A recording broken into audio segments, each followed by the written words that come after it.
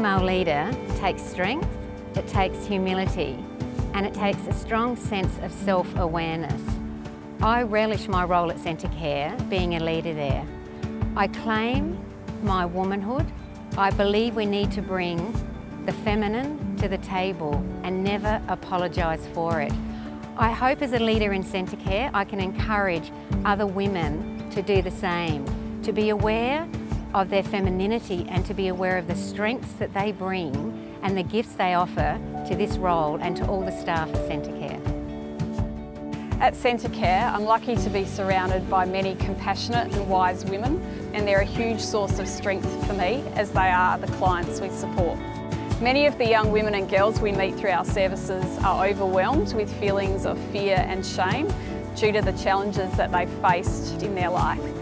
They can't see in that the courage and resilience they show each day to move forward and try and make positive change. In the workplace, I want to contribute to an environment which supports women to be themselves so they accept and are proud of who they are and think more of themselves than less.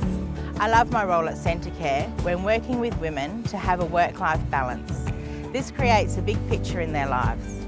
By having this, we recognise our strengths and have opportunities to grow. Measuring success is about the difference we can make in other people's lives. The young women we work with have faced challenges.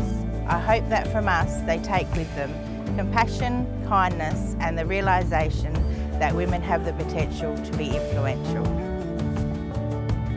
I'm a female leader. I'm proud of my achievements. I am a role model, mentor and influencer. I can make a difference. We can make a difference at Centacare women make a difference. Let's be conscious of our impact and create a culture of gender equity with every decision and act we undertake.